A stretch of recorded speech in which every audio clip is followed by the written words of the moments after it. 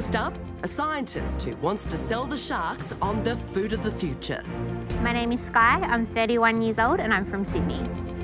I never used to have a Barbie doll when I was a little kid. I always used to be out in the garden collecting bugs and getting really dirty. I've always wanted to be an entomologist, which is a bug scientist. This is my giant burrowing cockroach. Her name's Woodstock and she's about 10 years old. She likes to eat eucalyptus leaves and I take her out to do educational shows. Some of the bugs actually live for quite a long time, so they have really, really interesting personalities. She actually likes to blow kisses and she likes to be pet as well, just like a cat or a dog would.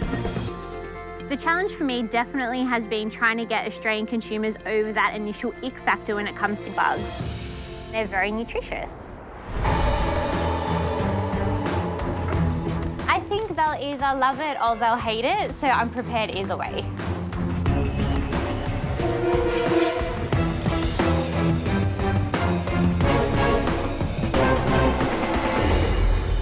Hello Sharks, my name is Skye and my company is called Edible Bug Shop.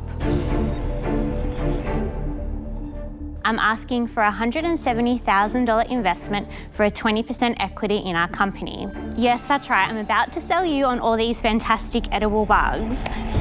So for the past seven years, we've been breeding edible insects specifically for human consumption. We've developed a patent pending uh, insect flour as well, which is high in protein.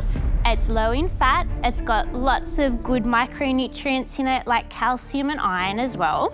And I'm sure you're thinking right now, why should I invest in edible insects? Yeah. Well, by the year 2050, the world's population will grow to over 9 billion people And traditional forms of livestock that we have at the moment just won't be enough to support this population. Edible insects are definitely the future of food and we aim to stamp ourselves as number one in the world in edible insect production.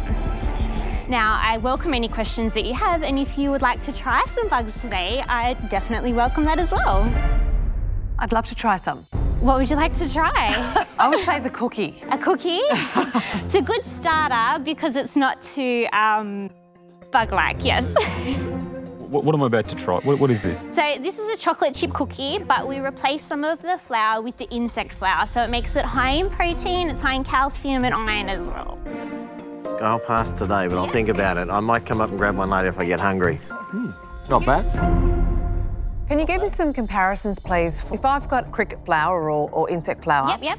And the nutritional benefit of that compared to regular flour, what is the benefits? Yep, so the, um, the insect flour is 65% protein. Um, it's got double the amount of calcium as milk, three times the amount of iron as spinach does. So it's kind of a superfood.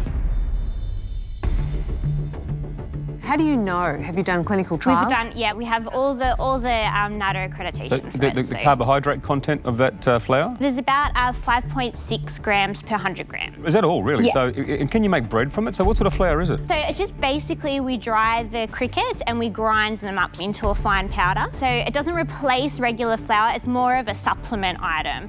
For instance, with the normal cookie recipe, you'd replace about a third of the regular flour with the insect flour. So, so what, what is the cost to produce a kilo of bug flour? Um, so it costs us about $6 per kilo. Wow, okay. Um, and then we would sell that at the moment for about $80 a kilo. Excuse me, 80? Yeah. $80 per yep. kilo. Oh, nice. It's a good margin. How do you think you can overcome what's going to be a natural resistance that people don't like the thought of eating bugs? It's hard for people because you don't necessarily think of a cow when you're eating a steak. It doesn't look the same. I definitely see the insect flour as the way of the future with insect eating. So you're getting all the nutritional benefits of eating the bugs without having to look at them. Four out of five sharks have tried that. I actually think you've got 80% market acceptance in some respects. I mean, that's one way to look at this. When I ride my Vespa, I eat a bug or two, believe me, on a Saturday morning, but I'm just not a bug-eating guy, and I think for that reason, I'm out. Well, I think you can't sell it unless you're willing to try it, so exactly. it's probably a right option. That's why I'm out. Got any vital statistics with respect to your sales and yeah, whatnot? so our turnover for last year was 150,000. That was 60% profit, so 90,000. After all expenses are taken out of the business, you're keeping 90,000 bucks. Yeah. yeah, okay. Apart from the money, What are the other pieces that you think you're missing? I'm an entomologist and a food scientist. I've got a science brain. I kind of need someone to help me expand the business so that, you know, it's more appealing to a wider audience, not just scientists. And you want to work with us full time, 100%? Well, I work in my business full time at the moment. Is there anything in that process that is patentable, that is unique to you, that you can keep? Yeah, so we've got the, the bug flour is actually patent pending at the moment, so um, the patent will be pushed through on that soon. So competitors, who are your competitors in the Australian market Um, or nobody. world market? Because people would be importing bug flour. No, um, you can't import edible insects into Australia because of our strict quarantine requirements. So there is no other competitor in this market but you. Yes. Tick a lot of the boxes for me in terms of what makes a fledgling business a big business. But where it leads me to is the valuation. Valuing the business at 850. I'm tempted, but I'm, I'm not tempted at your current valuation. I'm, uh, I think I'm, I'm at the point where I would make an investment, but I, I would want to bring your valuation down. I don't really think it's unrealistic to have a valuation like that, considering you know the range of products that we have already established and the, the valuation of the patent as well, which is the main thing. I mean, it is very tempting. But I do think the valuation on your business is the, is the challenge. Um, I'm out.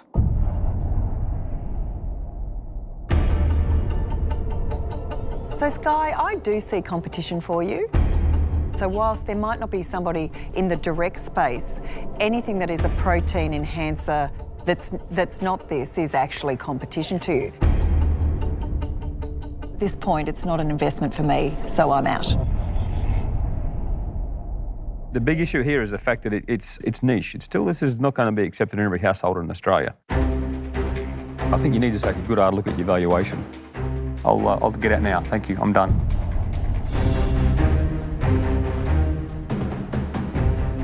So where are we? Janine?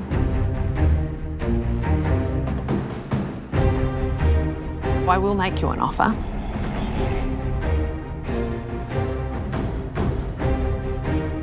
I will give you the 170,000, but I want half. So 50%, 170,000. I do like that Janine has the expertise in the food area, which is obviously more beneficial to the business that we have at the moment. But I think 50% is a little bit much to give away, seen as all of the work that we've put into the business to start with. So would you consider 30%?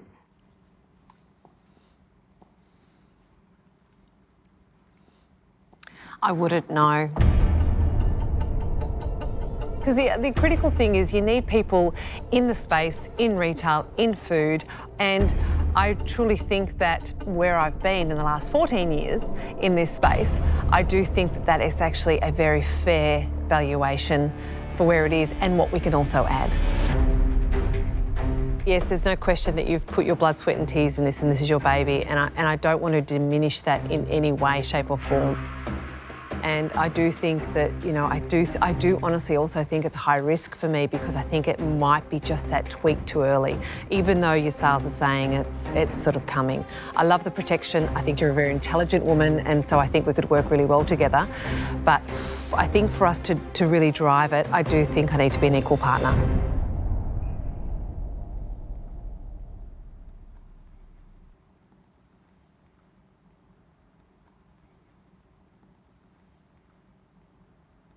Okay. Well done. Well done.